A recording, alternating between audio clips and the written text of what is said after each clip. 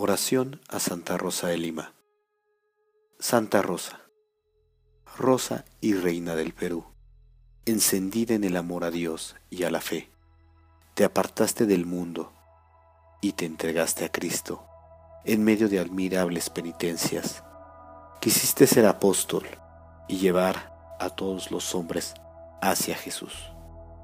Para ello, renunciaste a tu hermosura y a tus atractivos humanos mortificando tu cuerpo, alcanzando el camino de la verdadera vida, para que lleguemos a gozar un día de los bienes eternos. Por Jesucristo nuestro Señor.